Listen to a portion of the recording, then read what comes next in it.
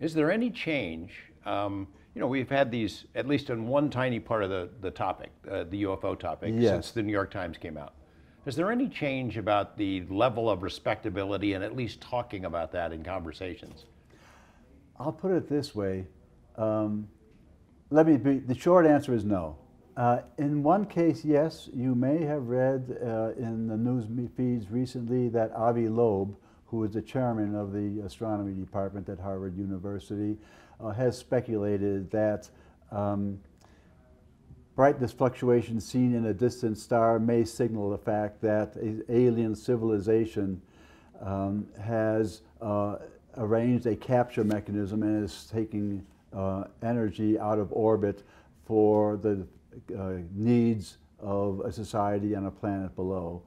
Um, and um, my reaction to that is, well, yes, that may be true, but it's not really the only possible answer, not by far. I think it's much more likely that there is simply a cloud of asteroids in orbit around this star, and uh, apparently this is the one star where they line up occasionally, and the, the cloud of asteroids block out the light of the star, and what's the problem? But um, I don't want to uh, cause confrontation and have just kept my thoughts to myself.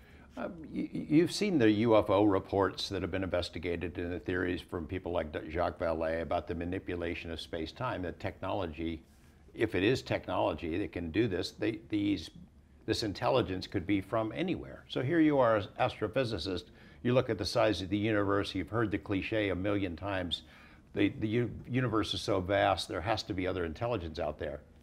Um, is that what we're talking about, though? Is there intelligence out there coming here, or is some of the mysteries that we're trying to tackle they're already here? What do you think? Uh, what I think is that we are there and they're here because it's one universe and it's all interconnected and they can read our minds and it's prob- probably arguable that we are reading some of their minds. We have people channeling wisdom, uh, knowledge about the universe, which makes sense to me. And uh, where is such information coming from? Is it coming from other intelligent beings on planets, or is this part of cosmic intelligence's plan? So I can't answer the question beyond that. What's, what's your model for objective reality, then? Consciousness and objective reality. Does objective reality exist? Are those books here, or they are only here because I'm seeing them? Um, I believe it's a little bit of both, and I don't think that we have to look for the two extreme alternative positions when I believe the reality is somewhere halfway. I believe that the books are there to the extent that our cosmic intelligence knows that they're there. And I believe that um, the cosmic intelligence knows a great deal of basically everything. And it's, it's because cosmic intelligence is created in part by existence of physical structure. Um, UFO incident, incidents, um, I I wonder if they're like catnip. It- It's a display to get us interested, to get our attention. Uh, in fact, uh, that has come up, and I, I have to say I don't have any comment about that. Um, um, I don't really know the, the entire purpose of the mission, except the way it's described by Suzy Hansen in her book on the dual soul connection, where she's quite clear about um, the emergence of the need uh, perceived throughout the universe since the atomic nuclear detonations in Nagasaki and Hiroshima events at the end of the World War II. So, um, There are, in essence, these alien editorials. Uh, people interact with other beings who tell us, "Hey, you better, you better straighten up." uh, yes, and um, Do you find them to be credible? Those kinds of accounts? yes, I think that they are sincerely felt by human individuals, but I'm not sure they are divinely inspired. Are they real in a real physical sense? I, um,